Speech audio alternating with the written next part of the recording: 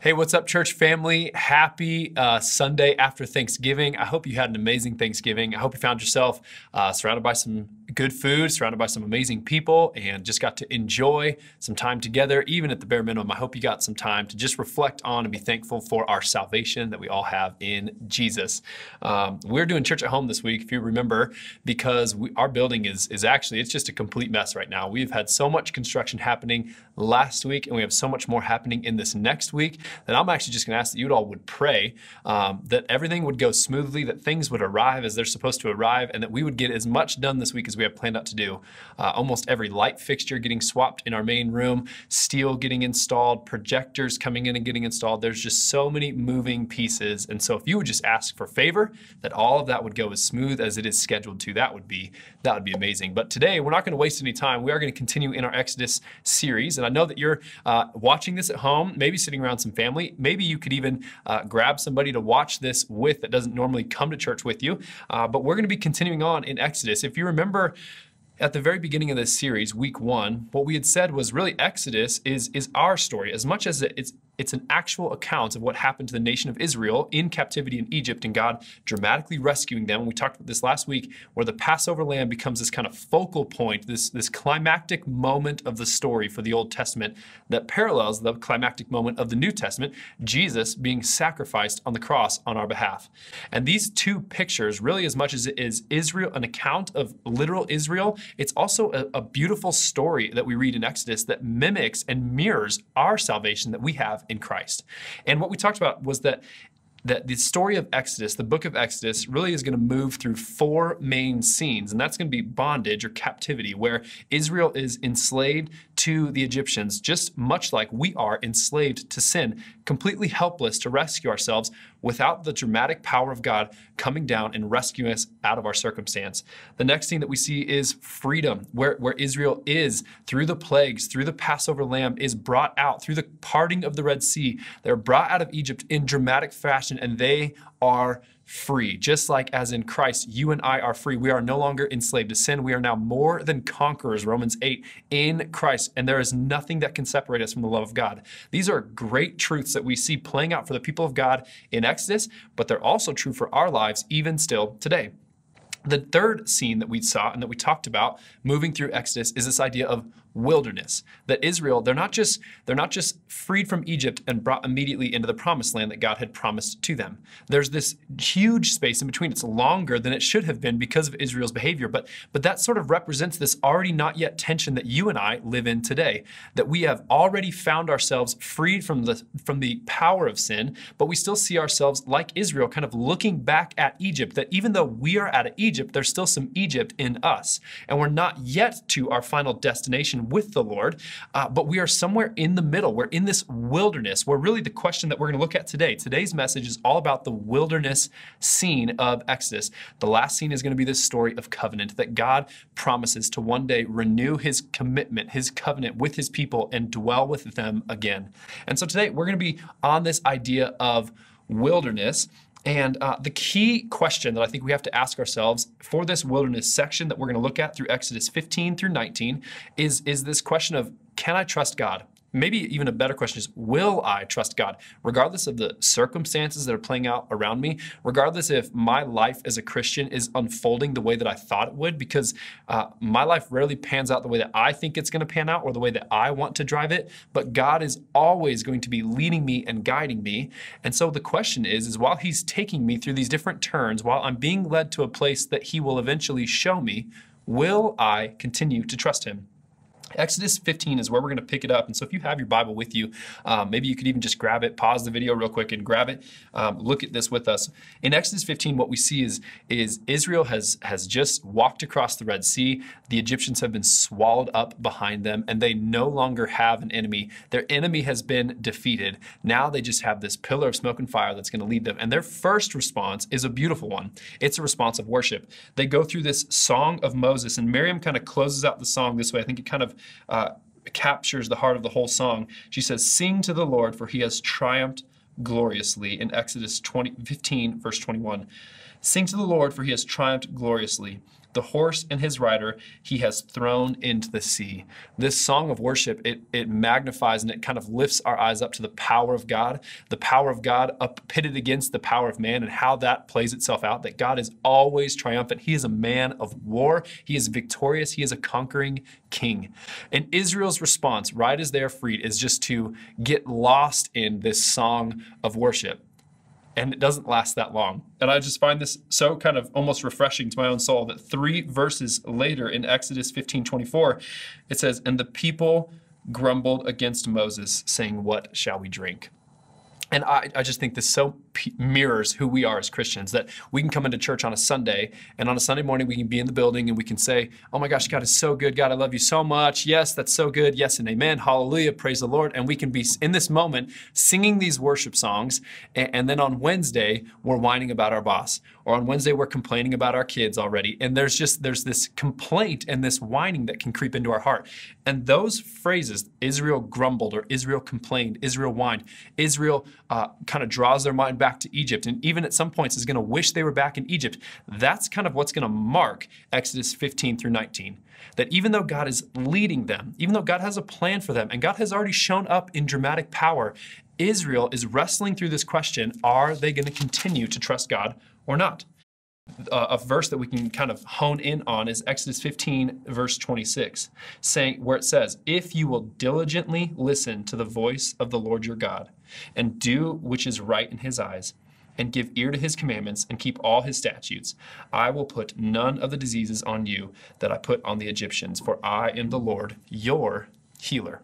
And so this is going to really kind of mark out not just the rest of this message, but it's going to mark out the rest of the series that God, what he's doing in calling his people is he's giving them a, an established way to live. He's giving them commandments and rules. And sort of the lie that exists in culture right now is that if we if we give ourselves over to God, if we surrender to God, then Christians, what we're known for in the world is being prude. Uh, maybe we're like known as being less fun. We, we avoid parties. We don't like to go out and have a good time. That, that really what the world sees through Christianity, and maybe this is through our own faults as the church, or maybe it's just through the world's lost paradigm of Christianity, is that we're seen as no fun, as our life being stifled and restricted so that we can fall after God. But what we'll see over the next few weeks is that actually Jesus' offer in John 10 10 is so that we might have life and have it to the full. And so every commandment and every rule given by God is so that we would develop our trust in Him. There's a faith that's that's tested in his giving of the rule that are we going to follow him or are we going to follow ourselves? But every rule is given to ultimately glorify God and for our own good. So every rule has come to give us more life, not to stifle life. We'll explore that in the coming weeks. But again, this verse here in verse 26 if you will listen to the voice of the Lord your God and do what is right in his eyes, give ear to his commandments, and keep his statutes, I will put none of the diseases on you that I put on the Egyptians, for I am the Lord your healer. Jesus is asking them, God is asking them in this moment, Are you going to trust me? I'm going to give you rules, I'm going to give you commandments. And he's kind of whetting their appetite for the coming of the law at Mount Sinai. And he's asking, Are, are you going to actually follow and do the things that I ask you to do? Are you going to put your trust in me or in the life that you're now wandering about through the wilderness? And it's the same question before us today. The only difference really is that God gives them a very practical way to trust on him daily. And it's through this thing called manna. Um, so they are hungry. They are whining that they don't have as much good food or as much uh, stability in their diet as they did back in Egypt. And so God gives them this thing called manna. And we read about it in Exodus 16, verse 14. It says, And when the dew had gone up, there was on the face of the wilderness a fine flake like thing, fine as frost on the ground. Um, so it's like this sweet, fine, flaky substance. In my mind, it's just always been Krispy Kreme donuts, just like little, a little thin layer of Krispy Kreme donuts everywhere. Hallelujah, praise the Lord. Uh, up, hopefully it's Sunday morning. Maybe you can find yourself still with some donuts. You went over to Donut House, you grabbed some donuts, and now you're watching this. But there's these, there's this fine frost on the ground. Verse 15. When the people of Israel saw it, they said to one another, "What is this?" For they didn't know what it was. And Moses said to them, it is the bread that the Lord has given you to eat. So God is giving them every day this frost on the ground. It's going to be called manna. We'll see that later. But it's Moses saying, God has given this to you to eat. This is what the Lord has commanded. Gather of it, each one of you, as much as you can eat. So do you hear the that this is not a stingy offer? God is saying, gather as much as you can eat Take as much as you want. This is what the Lord has commanded. Gather of it as much as you can eat. You shall each take an omer according to the number of the persons that each of you has in his tent. And the people of Israel did so. They gathered, some more and some less. But when they measured it with an omer, whoever gathered much had nothing left over, and whoever gathered little had no lack.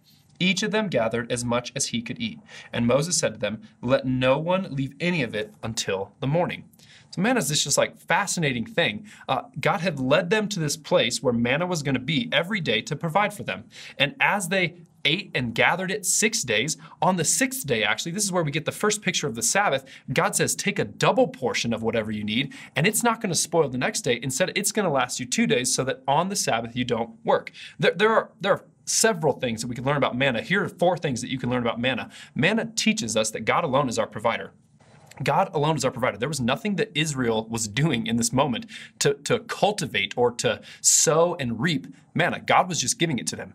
God was just uh, out of the overflow of his character, providing for his children. Out of his love for his children that he'd called into the wilderness, he was saying, Here you go. You will have food to eat. And this, for us today, what we can look back on manna and see is that we, we should be giving God a daily relationship with him. It kind of fits that we're doing church at home on the week with this message because your relationship with God hopefully isn't just a Sunday to Sunday relationship with him. Otherwise, I think you're going to be prone to look more like Israel did when they were saved and set free, and they go into worship one day, three days later, they start whining.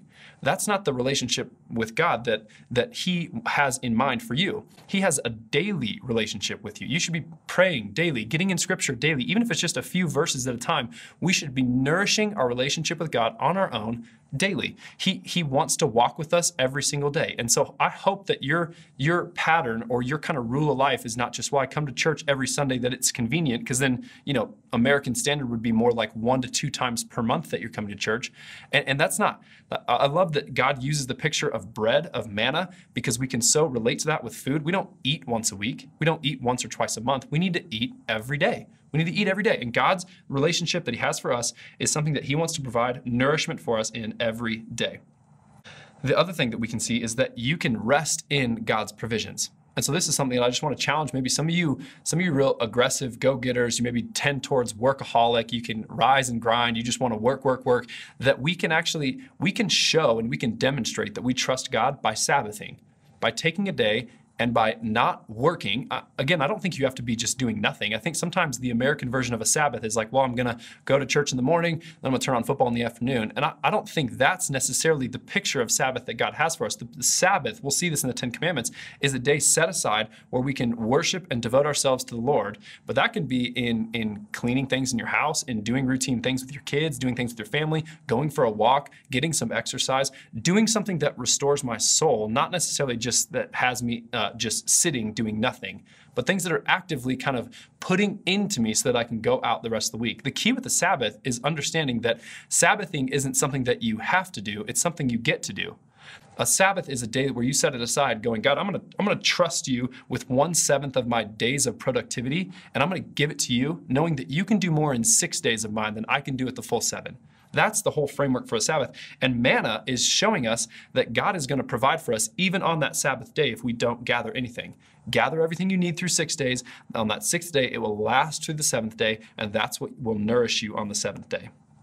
The fourth, the other, I'm sorry, the third thing that we see is that uh, our tendency with daily provisions from God is to take those things that He's given us and to see them as not enough and to kind of put our trust in ourselves to try and do more things with that. So you see, you see it in verse 20. They've just been said, or they, Israel has just been warned, rather, to, to not take more than what they need for one day. But it says in verse 20, but they did not listen to Moses. I, I just am like, okay, here we go, Israel Israel already is doubting God. They're not putting their trust in Him, they're putting their trust in themselves. And reminder for all of us Israel is us in the story. Don't think of yourself too highly when you read through this and don't look down on Israel.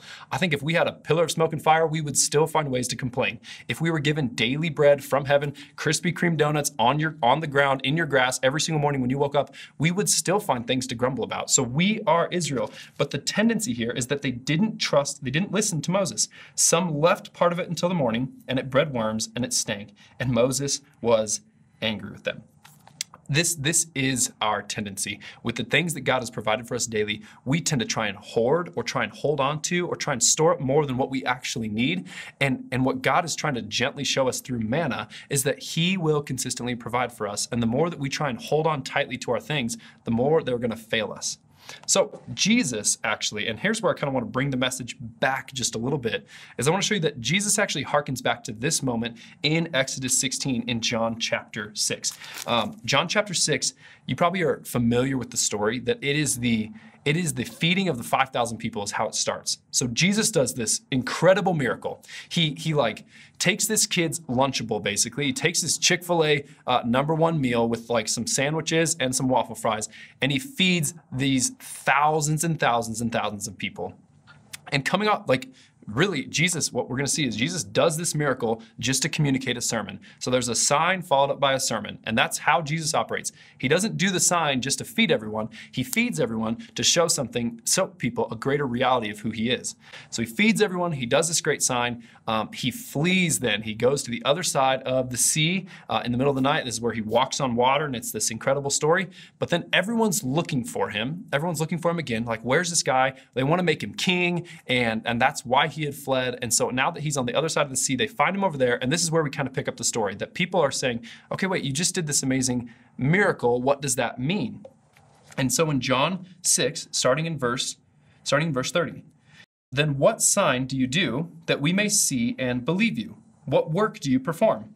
They say, Our fathers ate the manna in the wilderness. So they're going back to this moment in Exodus 15. As it is written, He gave them bread from heaven to eat. And Jesus said to them, Truly, truly, I say to you, it was not Moses who gave you the bread from heaven, but my Father gives you the true bread from heaven.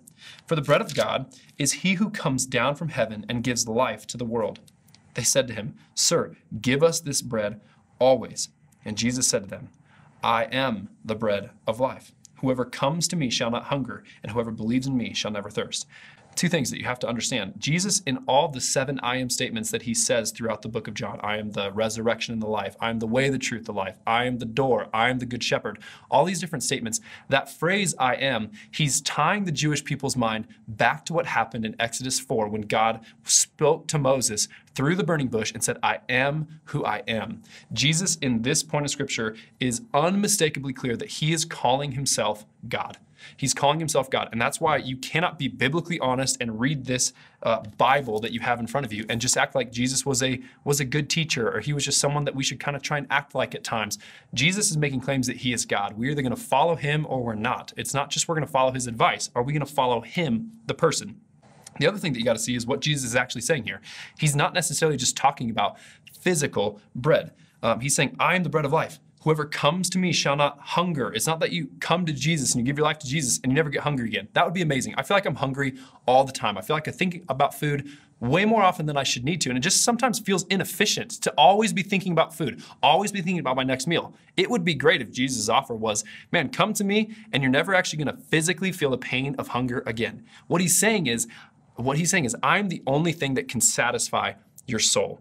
So if you come to me, if you eat of my flesh, drink of my blood, this idea of communion that we talked about last week, if you actually come to him, you are going to have that deep existential angst that is in you about what is life and how do I get life and how do I prolong life, that is going to be answered only in Jesus. So here, here's how this kind of plays out. We all just had Thanksgiving dinner. Uh, I don't know how Thanksgiving looks at your house. For us, uh, it looks like a meal, probably around like one, two o'clock or so, where we just eat. And it's one of those days where I can't really say that gluttony is permissible because that would be saying that sin is permissible. So that's not what I'm saying. But I am saying that my plate is always bigger and more full than it ever needs to be. And I eat all kinds of stuff until I'm really like at that point where I'm uncomfortably full.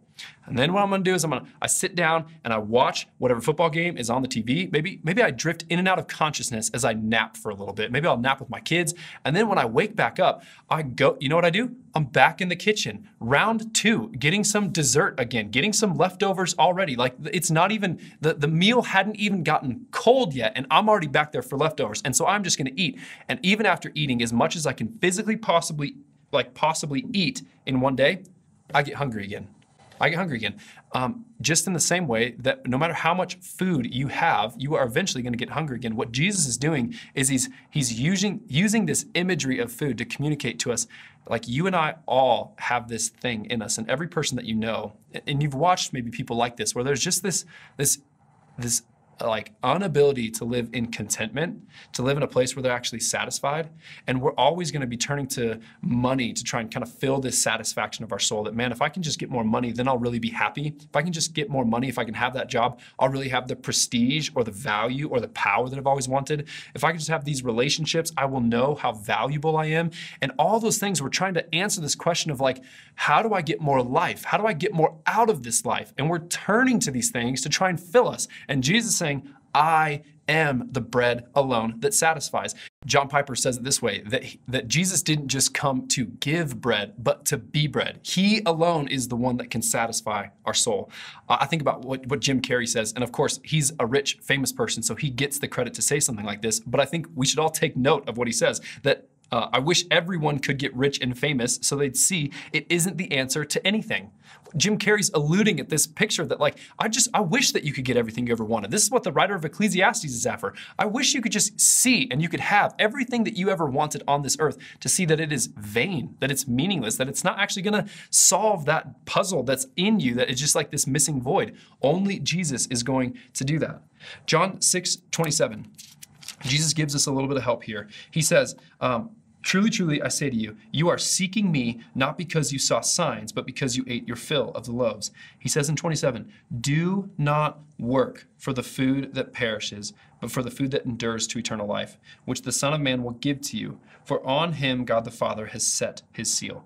Don't work for the food that perishes, but for the food that endures to eternal life. Here's an encouragement I have for you this morning is that we wouldn't we wouldn't necessarily spend all of our tr- time trying to nourish the things of this world, but we would spend more of our effort and put more of our heart towards trying to nourish our relationship with Jesus that's going to endure forever a few just practical ways I think you can do this. I think financially that we can make sure that we are we are having stuff, but our stuff doesn't have us by doing a few things really simply. We can tithe. We can make sure that whatever income we're getting, uh, this is something Katie and I have always practiced, always done in our married life. We said, nope, we're going to surrender and we're going to give back over in worship 10% of our income, no matter what, whether we have lots or whether we have little. And the result of that over the years is, is much less about what our bank account looks like. It's much more about what our heart looks like. That our heart is not gripped by money. We, we have money, but money doesn't have us. And so we are continually giving away money, being generous. It's not just tithing, but it's also just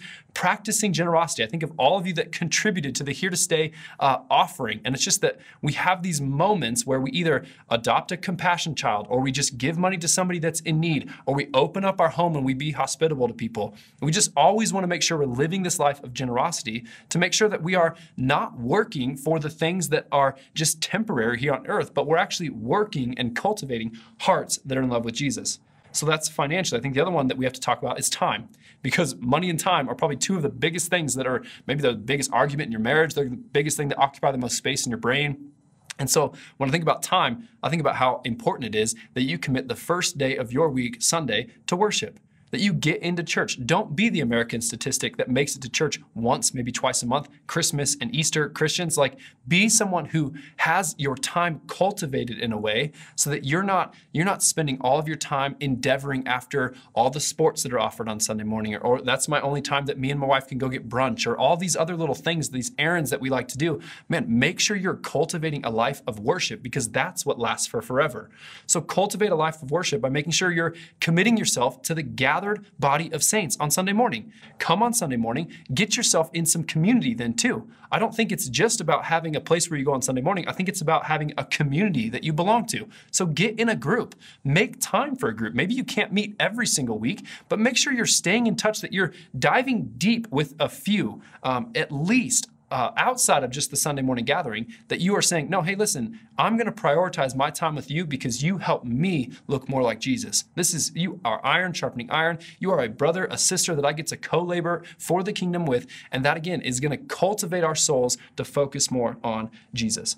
The last one I think is just by serving.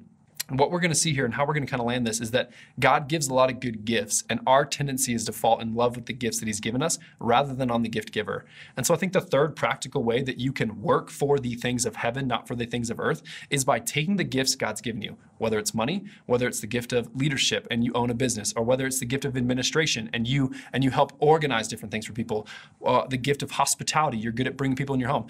Take those gifts and don't fall in love with the fact that you're so good at decorating your house and welcoming people in your home, but take that gift that He's given you and use it, give it away, serve other people so that other people can hear about the good news of Jesus. Whether that's in your business, whether that's in your home, whether that's with your kids, whether that's where you play, all those different spaces are gifts from the Lord that you can take and you can turn them into worship rather than making them terminate on yourself, on your own heart.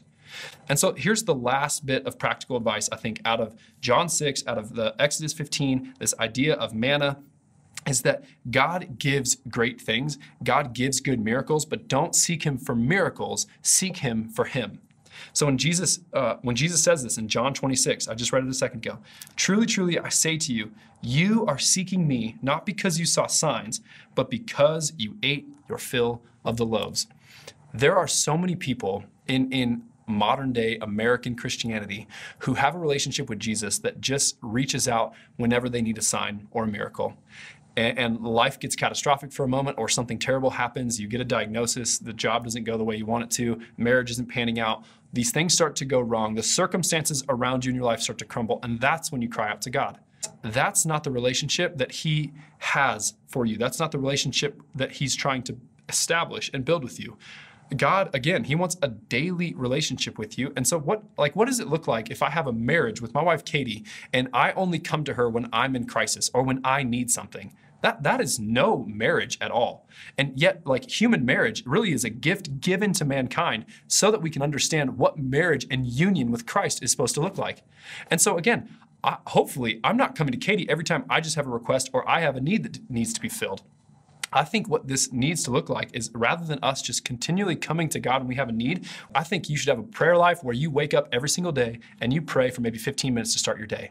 Um, I think that kind of prayer life opens the doorway for communication for all sorts of other things. But if you don't have that just boring routine practice where you just, I just, you know what, I just wake up in the morning and I just spend the first half hour praying and reading scripture well, then the tendency that we can fall into, if we don't have that to fall back on as a routine part of our relationship, then what we end up doing is we only cry out to Him when we need Him.